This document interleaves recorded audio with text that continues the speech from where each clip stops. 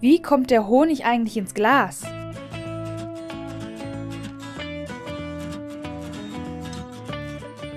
Wer kennt sie nicht, die bunten Kisten an Wiesen, Feldern und Waldrändern mit den fleißigen Bienen, die so wichtig für uns alle sind? Wir haben den Imker Bernhard Zilonka von der Rohhalbinsel in Essen begleitet und wollen wissen, wie der Honig ins Glas kommt. Aber bis dahin ist noch ein weiter Weg. Zuerst muss man den Bienen eine Umgebung schaffen, in der sie sich wohlfühlen, damit sie auch fleißig sein können.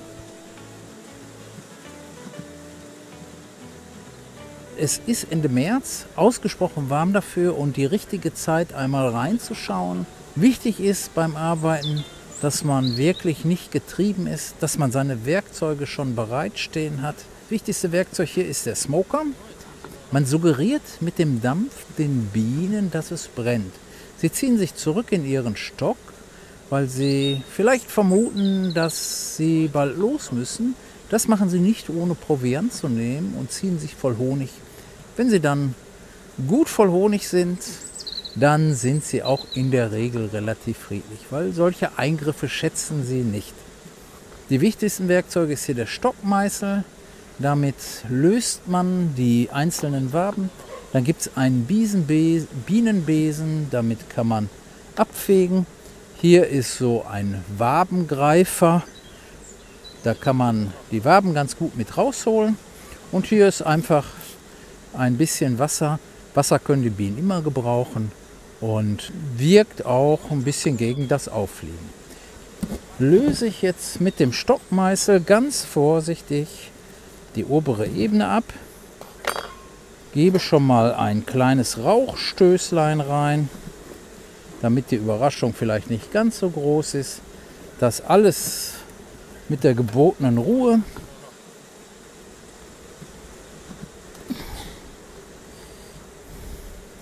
Hier sieht man eine Wabe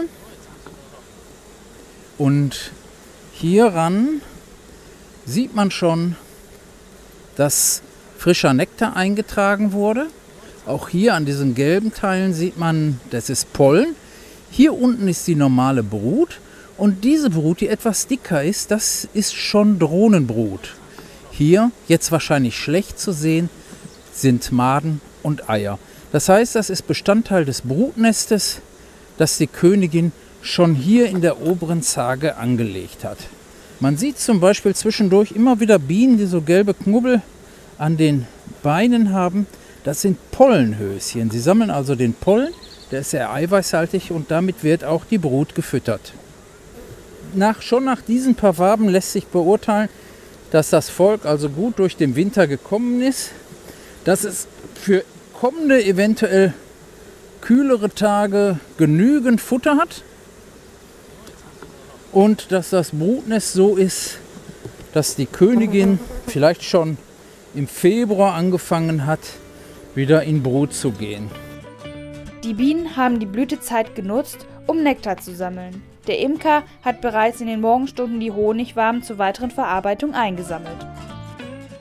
Das ist also eine ausgebaute Wabe, wo sich Honigtrend verbirgt. Die Bienen sammeln Nektar und lagern diesen Nektar hier in diesen kleinen Zellen ein.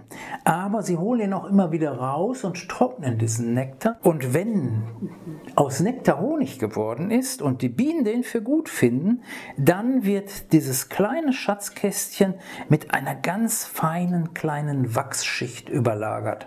Und dann weiß der Imker auch, dass der Honig jetzt gut ist. Gut heißt, ein Wassergehalt von 18% und weniger hat, dann ist es gut. Je weniger, desto qualitativ hochwertiger. Was meine charmante Assistentin hier macht, ist, sie holt diese kleinen Wachsverdeckelungen aus diesen Schatzkistchen, wo die Bienen den Honig gelagert haben. Die werden mit so einer Entdeckelungsgabel vorsichtig von der Zelle runtergehoben. Ich stelle jetzt diese Rähmchen hier in diese Schleuder. Das ist eine Vier-Waben-Schleuder, das heißt, man kann jetzt bis zu vier Waben, die entdeckelt sind und wo der Honig reif ist, hier reinstellen. Schleudern müssen aus Edelstahl sein. Ich fange jetzt an, hier diese Trommel etwas in Bewegung zu setzen, dass es schön rotiert, aber auch nicht zu dolle, weil wir wollen ja nicht, dass die Waben kaputt geht. Der Imker setzt die Waben nochmal ein. Und dann sieht man hier an der Seite, wie der Honig schon aus den Waben rauskommt und da reinspritzt. Jetzt ist natürlich so eine Wabe von beiden Seiten mit Honig gefüllt. Das heißt, wenn man so rotiert, dann drückt die schwere Seite so nach vorne. Und dann kann die Wabe zerbrechen. Deshalb macht man das so, dass man in einem frühen Stadium anhält. Hier sieht man schon, dass die Löcher leer sind. Wendet man diese Wabe und stellt die dann nochmal da rein. Und ihr seht schon vorne, der Honig, der gerade an die Wand gespritzt ist, der kommt jetzt schon vermehrt vorne raus.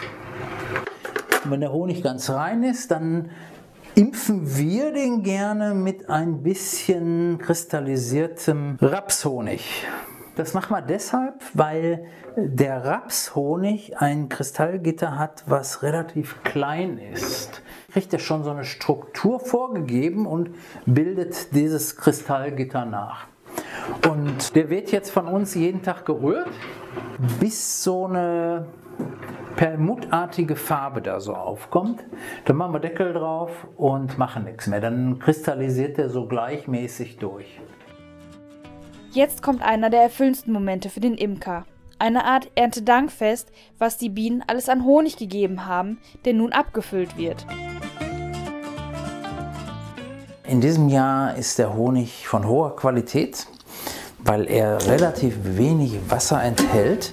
Er ist schnell kristallisiert und jetzt hatte ich ihn eine Nacht im Wärmeschrank. Das heißt, gestern noch war es so, dass man den Topf ruhig hätte zur Seite legen können, ohne Deckel. Es wäre nichts rausgeflossen.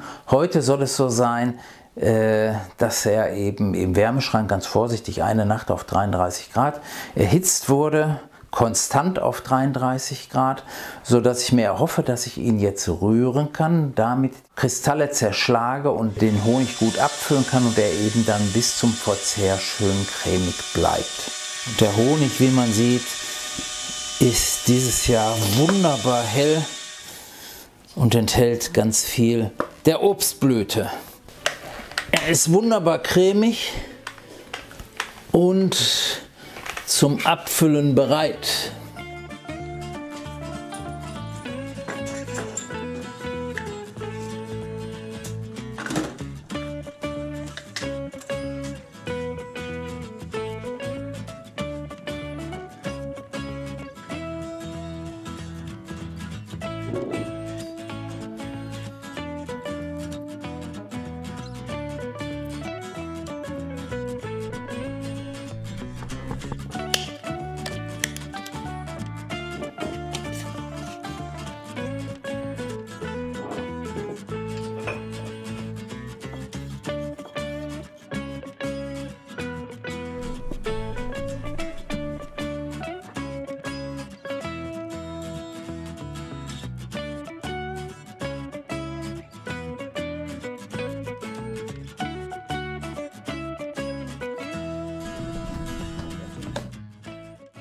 Lass uns den Honig und die Arbeit der Bienen wertschätzen. Sie brauchen Lebensraum, damit sie weiterhin ihre Bestäubungsleistung uns Menschen geben können. Wir Menschen brauchen die Bienen und Honig ist ein ganz natürliches Lebensmittel. Es entsteht nahezu kein Abfall. Nachhaltiger geht's eigentlich nicht, wenn der Honig ungemischt von Imkern aus der Region kommt.